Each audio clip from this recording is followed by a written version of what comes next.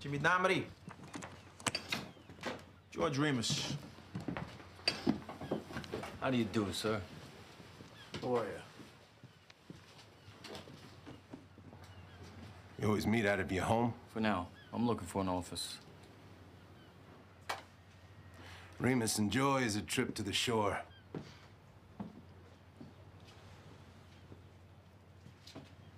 I understand you have government bonded whiskey to sell.